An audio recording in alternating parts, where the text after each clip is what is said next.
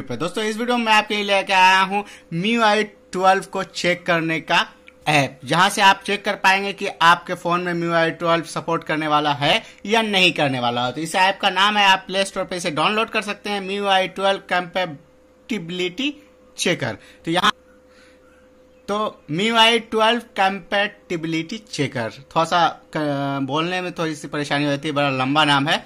चलिए देख लेते हैं, जैसा कि मैंने यहाँ पर डाउनलोड कर रखा तो यहाँ से ओपन करेंगे और जाएँगे हम अपने डिवाइस को चेक करेंगे। ये है रेडमी नोट एट प्रो और यहाँ से आप देखेंगे डिटेक्ट डिवाइस पर अगर हम क्लिक करते हैं तो यहाँ पर आप ऑप्शन देखेंगे क्या किस तरह का ऑप्शन खुलता है। अगर हमारा फ़ोन यहाँ पर तो यहाँ से आप चेक एलिजिबिलिटी पे क्लिक करेंगे और यहाँ से आपको दिख जाएगा कि आपके डिवाइस में ये वर्क करने वाला है या नहीं करने वाला। तो यहाँ पर आप देख सकते हैं congratulation your device is eligible for MIUI twelve update अगर मान लीजिए कि यहाँ पर आपके फ़ोन में चेक नहीं होता या दूसरे डिवाइस का अगर आप चेक करना चाहते हैं तो यहाँ क्लिक करेंगे और यहाँ पर सारे डिवाइस का नाम दिया हुआ जैसा कि आप यहाँ पर देख पा रहे हैं। इसमें से आप अपना डिवाइस सेलेक्ट कर लेंगे और उसके बाद आप चेक कर पाएँगे।